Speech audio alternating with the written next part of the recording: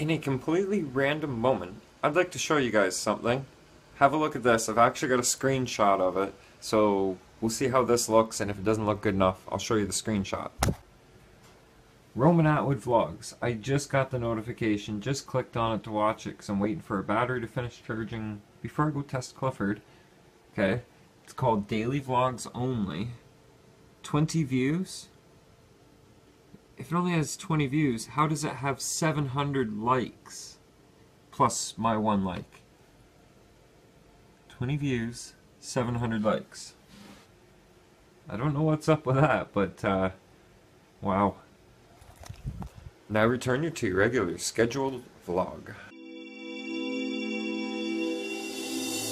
How's it going today, everybody? Welcome to the Daily Random Vlog.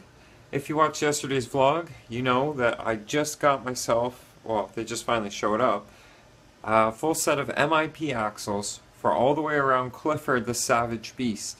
You don't know who Clifford is yet? He's a Traxxas 110 scale Summit, Summit truck. Front and rear locking diffs, high and low speeds, uh, 775 sized brushed motor in mine. Some people go brushless and that's usually where they kind of start to not like the Summit because things break a lot quicker and a lot more frequent.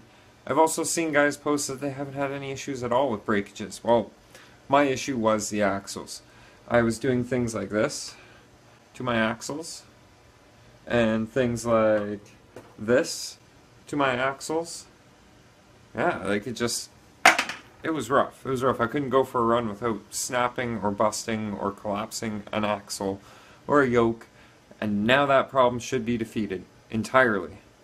It was absolutely no problem at all. Once again, shout out to worldofrcs.com for a quick and expedient delivery of the exact part that I was looking for, or the exact parts. You can see it in there. Oh, that great MIP goodness. The only MIP sticker that you're going to find on my truck. And you'll see what this uh, blue nickel metal hydride battery is for once once we go test it out. I'm not going far today, just because it's a really, I don't know. I was feeling ambitious, like I wanted to get outdoors and get doing stuff. And then with all the walking and everything that I've done the last few days, the stress of the bike, and then the relief of the bike coming home, those are really nice looking axles, eh? But I just, I don't know if I have the energy to go and do the walk that I was originally planning, but we're still going to go out and test Clifford this afternoon just down the street, uh, there's that little rock section. It's like a little rock crawl area. I'll be using, of course, this right there for the uh, recording because it's just easier to do. It doesn't die in the cold cold air like the iPhone does. But yes, yes, very, very, very happy to have those in the truck finally. And I'm almost willing to run a pool to say what's gonna break next. what's the new part that I'm gonna have to put in there. Uh, Jess Heffern, you already said about the front bulkhead, and if not the front bulkhead, then there will also be the issues with the rear diff. I wonder why it's just the rear not the front. But come to think of it, it's always the rear axles that were breaking, wasn't it? Yeah, so maybe uh, kind of gives me a heads up of what to get next. I've seen a lot of good stuff, Integy, Hot Racing, or H&R Racing, Leading Edge Machining, I think is what they're called. They make a whole abundance of parts for Traxxas stuff that's hardened, steeled. I can't even think of the name of it right now, but there's a whole world of aftermarket parts to choose from when it comes to beefing a truck like this up. And it's going to eventually happen. It'll take me longer than most people, but you know what? Hey, at least it's going to happen.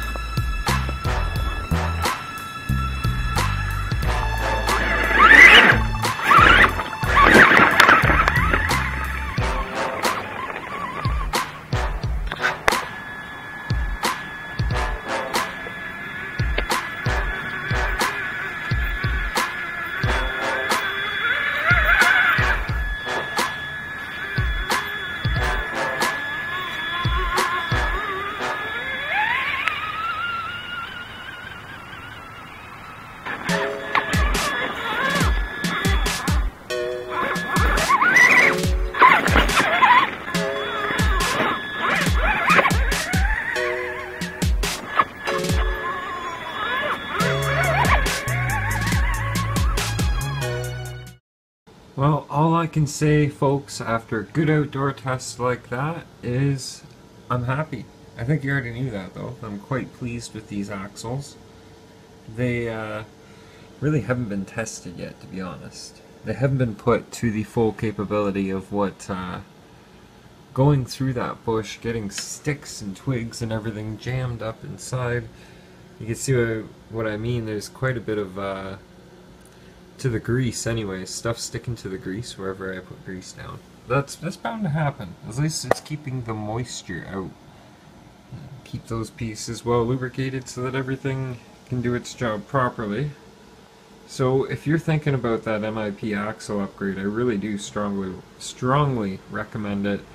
It was the only thing that was failing me on the Summit so far. Now there's one big difference I did notice that with the differentials locked, I had to get I had to lean into that throttle just a little bit more, but that's because it's forcing the tires in a turn and stuff even to spin at the same speed. So you're fighting these great big grippy trenchers.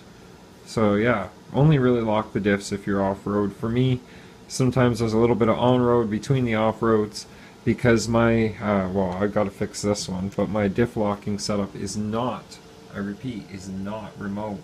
I'm still actually, if anybody happens to have one kicking around after the uh, proper Summit transmitter, I do have the proper Summit receiver in the box here, so it's just a matter of rebinding the transmitter to it and installing servos. I've got mini servos.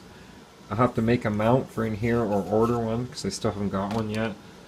But it would be kind of nice to remotely lock them. I'm tired of climbing out of the cab and locking my diffs at the hubs, if you know what I mean. and everybody, welcome a new member to the shop, T600. He's the 600, right? Or is he the T800? Anyways, there you go, straight from the future. He's doing some uh, supercharger work to the Losi for us. He's working really slow. I mean, he's so slow you can't even see him moving. But yeah. I know, it's nothing compared to some of the other scale shops that you see people going, got going out there, but I kind of like it. Gives me something to tinker with here and there when none of the vehicles need work. I even got my own fuel pump, check that out. Contains lead all in all, wasn't the best day to be outside testing RCs, but you know, I did what I could, when I could, while I could. We'll get out to the trails again soon. That's not a worry. It's not a real big, uh, oh no, it's not going to happen again. We still got a long time before the snow flies. Fingers crossed. As for that apartment situation, you remember yesterday's vlog, I said uh, we're going to have to talk about this, or we're going to have words about it. Not like me and you guys having words or me and anybody really having words. It's just i gotta think of how to properly say it and convey what's on my mind. So a i don't sound ungrateful. B i don't sound like i'm just on a rant and see, I want you guys to be able to understand where i'm coming from in this thought uh, about moving because yes, I do need, I do want to get out of this place and get somewhere new, fresh start, fresh apartment. Uh, but I don't want to be stuck in a shoebox. You know what I mean? There's one window that lets in light, and I could throw a ball and have it bounce back to me from one end of the apartment to the other. It's it's not very big at all. So I'll figure out that situation. That's for me to worry about, not you guys, and that's why you don't get a rant about it. Right? Right. oh, jeez just as I say every night, right? Think positive, stay positive, and do your best to keep a smile on your face. It really can help your outlook.